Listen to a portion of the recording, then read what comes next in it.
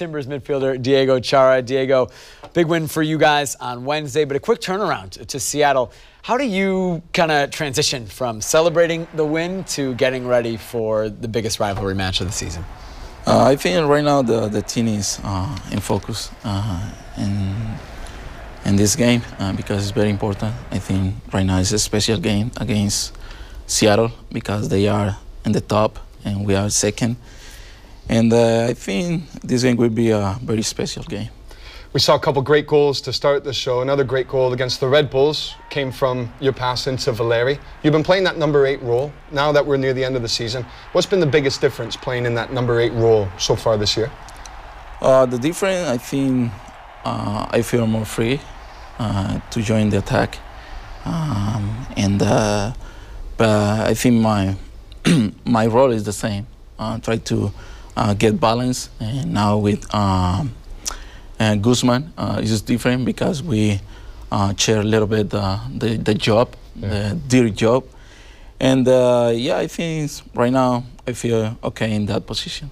I say near the end of the season, only seven games to go. Is there a part of the season that you enjoy even more now with the pressure for points. Do you feel that pressure as a player as well, knowing that it's so tight in the conference? I feel the same. I think uh, every part of the season is very important and try to enjoy everything.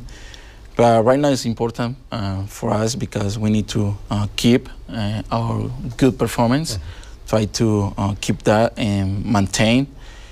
And then we have seven uh, games left, and we need to to be and focus on that.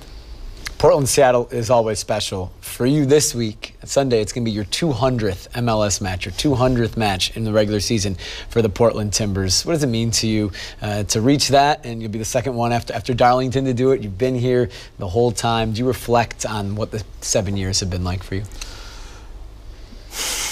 Special. I think seven years in Portland. Uh, it's a special time here, uh, enjoying, um, learning everything and uh, yeah, it's my 200 game. And I try to enjoy uh, every game, and uh, now we want to win uh, the next game uh, because we never uh, win Seattle like a regular season, right. and they're home, and maybe this is a great opportunity for us. 200 matches. Can you remember them all? Is there any one game that sticks out from the rest? Uh, I think the special was in my uh, birthday in 2014 yeah. against Seattle. I scored two goals. I think this is my special memories and in 200 uh, games.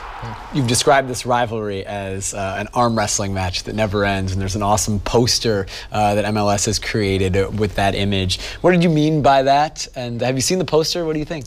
I see the poster. I like uh, really nice poster. I think a great uh, designer. And uh, yeah, I think uh, this game, this type uh, type of games, is special. It's classic games, and uh, we know the the people love to win games like this, and we need to be uh, prepared for that. It's a good size arm in the poster as well. Your arm it looks nice and, and muscular. Your arm?